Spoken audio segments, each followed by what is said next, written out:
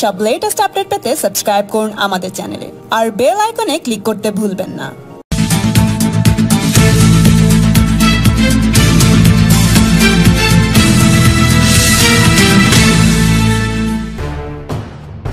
নন্দীগ্রামে শুভেন্দু অধিকারীর খাস তালুকে শুক্রবার বিশাল বাইক র্যালি করলেন বিজেপি মহিলা মোর্চার সহ সভানেত্রী ভারতী ঘোষ। এদিন নন্দীগ্রামের রেয়াপাড়া থেকে টেঙ্গুয়া পর্যন্ত। আর নয়, অন্যায়। বাইক মিছিল করে বিজেপি। মিছিলে বিজেপি কর্মী সমর্থকদের সঙ্গে অসংখ্য মানুষও অংশ নিয়েছেন এদিন। মিছিল শেষে টেঙ্গুয়ার একটি জনসভাও করেন ভারতী ঘোষ। এদিন সবাই প্রথম থেকেই তৃণমূলের বিরুদ্ধে খড়গহস্ত ছিলেন বিজেপি নেত্রী। পশ্চিম মেদিনীপুরে খাদ্য কর্মাধ্যক্ষের নিরাপত্তা প্রত্যাহারের প্রসঙ্গ তুলে ভারতী ঘোষ বলেন, তৃণমূল করলে নিরাপত্তা পাওয়া যায়, কিন্তু বিরোধী দলের হলে নানানভাবে চাপে ফেলা হবে। পুলিশের অত্যাচার, কেস দেওয়া সবই চলবে। এটা তো প্রতিশোধ নেওয়া এটা ভালো জিনিস নয়। এরপরই তৃণমূল নেত্রীকে তোপ দেখে ভারতী বলেন। মমতা বন্দ্যোপাধ্যায় বলেছিলেন, বদলা নয়, বদল চাই। কিন্তু বাম আমলের থেকে একশো গুণ বেশি অত্যাচার করছে তৃণমূল কংগ্রেস। এরপরে তিনি বলেন দু হাজার সাত সালের চোদ্দ মার্চের পর চৌঠা ডিসেম্বর দু কুড়ি, এই তেরো বছরেও নন্দীগ্রামের কান্না থামেনি। এটা আজ নিজের চোখে দেখলাম। এখানকার মানুষ একটা আশা নিয়ে আজকে সবাই এসেছেন। নরেন্দ্র মোদী দু হাজার একুশ সালে সব দুঃখ, কষ্ট, যন্ত্রণা ও অপমান ঘুচিয়ে দেবেন। নন্দীগ্রামের মানুষকে মুক্তি দেবেন। তিনি আরও বলেন, তৎকালীন বিরোধী নেত্রী মমতা বন্দ্যোপাধ্যায় বলেছিলেন, নন্দীগ্রামের মানুষকে ন্যায় বিচার দেবেন, কিন্তু আজও ন্যায় বিচার নেই। তাই নন্দীগ্রামের মাটি আজ ডাক দিচ্ছে মমতার সরকার, আর নেই দরকার। নন্দীগ্রাম থেকে সোনার বাংলার সূচনা হবে। এরপরই তিনি বলেন, বিজেপি সরকার এলেই নন্দীগ্রামের মানুষ প্রকৃত ন্যায় বিচার পাবেন। আজকে রেয়াপাড়া থেকে এই ডেঙ্গু আসতে গিয়ে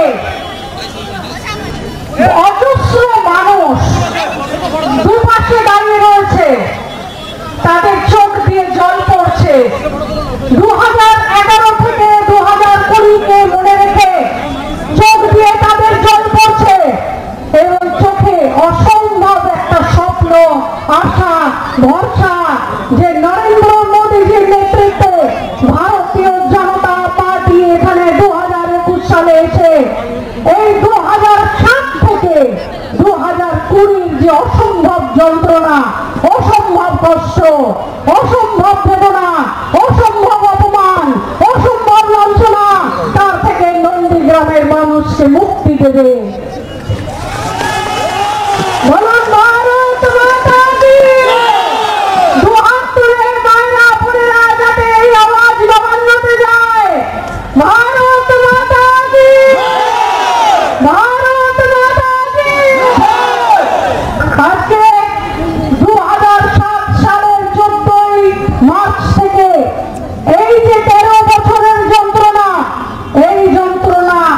আজকে নন্দীগ্রামের মাটিতে দেখলাম, জায়গায় জায়গায় মাটি ফেটে গেছে যন্ত্রণায়।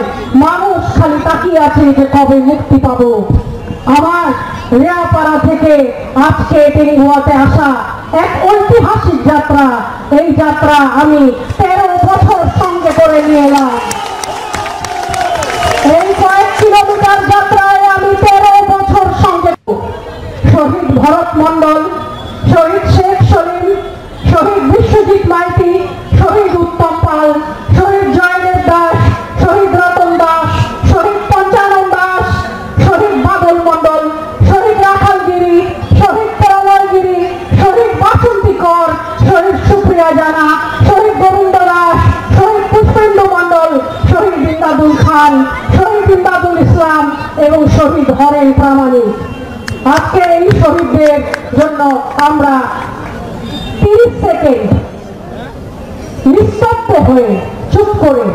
ঈশ্বরকে ডাকবো তাদের জন্য।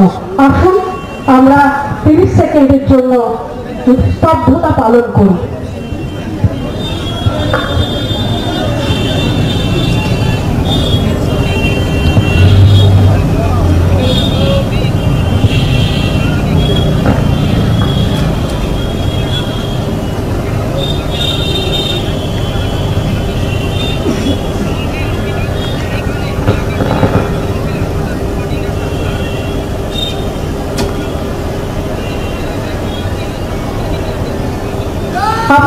ধন্যবাদ। বলুন, ভারত মাতা বলুন, ভারত মাতা এই সমস্ত শহীদ জমি আন্দোলনে একদম সামনে থেকে নন্দীগ্রামের জন্য নিজেদের প্রাণ দিয়েছিলেন। তৎকালীন বিরোধী নেত্রী মাননীয়া বলেছিলেন, বারো ঘণ্টার বোম স্মরণ করে বলেছিলেন যে আমরা এসে ন্যায় বিচার দেব মানুষকে। আজকে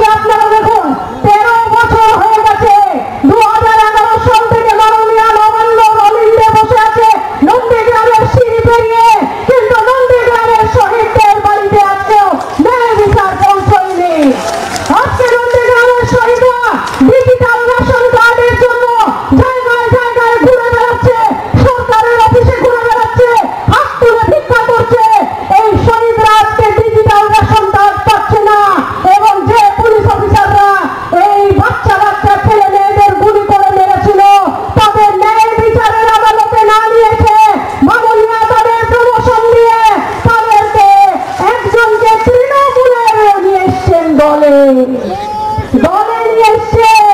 আজকে এরকম অবস্থা যে সাধারণ মানুষের যখন হত্যা হয়, যখন পুলিশের ছেলে মেয়েদের হত্যা হয়, সেই হত্যাকারীদের বিভিন্ন জায়গায় নিয়ে এসে বসানো হয় সম্মান দেওয়া হয়।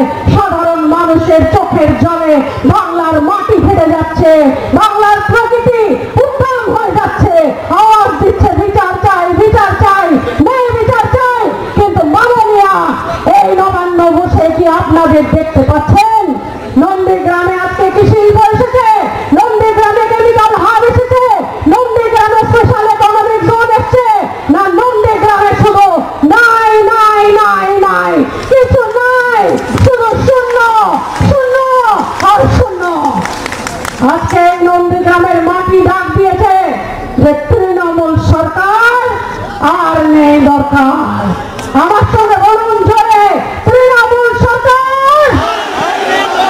তৃণমূল সরকার আর নেই দরকার তৃণমূল সরকার আর নেই দরকার আর নেই দরকার মানুষের ভেতর থেকে আওয়াজ আসছে চাল চোর সরকার আমি বলব দুর্নীতির সরকার সন্ত্রাসের সরকার বড় ধর্ষণের সরকার মানুষকে অপমান করার সরকার বেকারত্ব সরকার এবং প্রাণের জিনিস চুরি করার চোর সরকার আজকে নরেন্দ্র মোদীজি কৃষকদের জন্য ডাইরেক্ট বেনিফিট ডাইরেক্ট ট্রান্সফারে যে ছ হাজার টাকা পাঠিয়েছেন, কৃষকদের অ্যাকাউন্টে সে টাকা ঢোকেনি। মাননীয় ঢুকতে দেননি কিন্তু দিল্লির কৃষকদের দিকে তাকিয়ে ওনার বুক ফেটে যাচ্ছে। আজকে আমাদের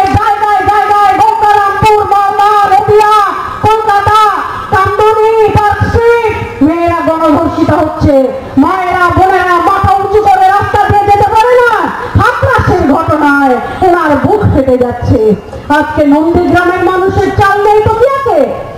আপনাদের মাথার উপরে কোনো ঘরের চাল নেই তো কি হয়েছে আপনাদের খাবার চাল নেই তো কি হয়েছে আপনাদের স্বচ্ছ জল নেই তো কি হয়েছে আপনাদের বিধবা ভাতা নেই তো কি হয়েছে আপনাদের বেকারত্ব ভাতা নেই তো কি হয়েছে ছত্রধর মাহাতো তো খেতে পাচ্ছে পুলিশের প্রহরায় জঙ্গল মহলে ঘুরে বেড়াচ্ছে আজকে বিমল গুরুম তো খেতে পাচ্ছে বিমল গুরুম তো শিলিগুড়ির মাটিতে মিটিং করছে আজকে সত্যজিৎ বন্দ্যোপাধ্যায় এখানে এসে গুলি চালিয়ে নন্দীগ্রামের বাচ্চা বাচ্চা ছেলেদের মেরে ফেলে প্রমোশন নিয়ে আজকে তৃণমূলে যোগদান তো করতে পারছে? তাহলে বাংলার মানুষ কোথায়? বাংলার মানুষ কোথায়? কোনো দরকার নেই এই সরকারি। আছি আমরা, আপনাদের দরকারে। কোনো দরকার নেই এই সরকারে। আমরা আছি আপনাদের দরকারে।